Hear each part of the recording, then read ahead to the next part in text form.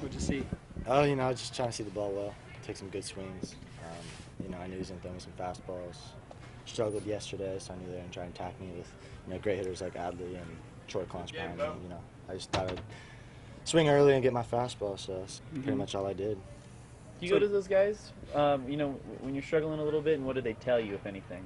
Yeah, of course. You know, I, you know, I, it's mostly just like mental things, and you know, kind of like what kind of approach to have, and um, just kind of the mentality being at the plate. You know, you know, they always say like you're here for a reason. You know, being at Oregon State, like you're good. Like just you know, you gotta have the mentality and just be a dog up there. So So offensively, coming into today, how were you feeling about how things were going for you individually? I was feeling fine. You know, you know, as long as I be playing defense, you know, that's my ultimate goal. And then um, I felt like I was seeing the ball well, just not finding some barrel. And you know, I just trusted myself and found a couple, and that happened.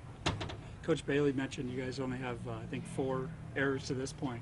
You feeling pretty good just overall how the, the team's doing defensively? Oh yeah, you know, with the pitching staff we have and our defense of play so far, you know, it's, it's been great. Um, you know, I think we've been locked down right now, and we just got to stay with it and keep working.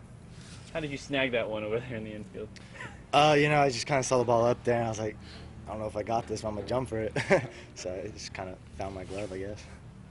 Got a guy like Bryce who's been pretty steady for you. It's got to be a good feeling defensively when you got a guy like that on the, the mound there. Oh yeah, you know, we have a lot of confidence in him, and every time he takes the mound, you know, his presence just gives us that ultra boost, and you know, we I thought we did really well. So.